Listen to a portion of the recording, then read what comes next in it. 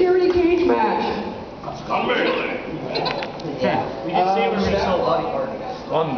Yeah, What was I about to say? Uh, another thing, uh, I was actually in here for the one Yaoi. Uh, uh, oddly enough, uh, um, oddly enough, the um, the panel, the what was it, the guest uncensored. That uh, that that got extended by half an hour, and uh, not not really made aware of that uh, sort of thing. So they apparently they uh, dropped off the, one the other Yaoi that was supposed to be have skid scheduled at one. But no no launch because it's only level six. uh, but still, it was the.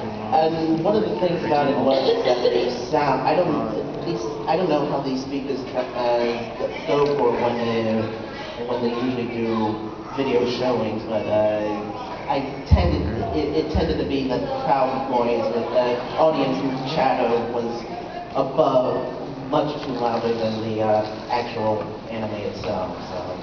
Ah, okay. Yeah. All right.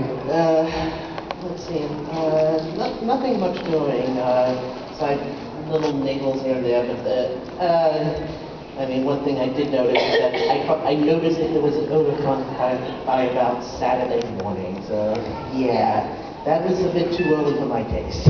All right. Any any particular location that you noticed? uh,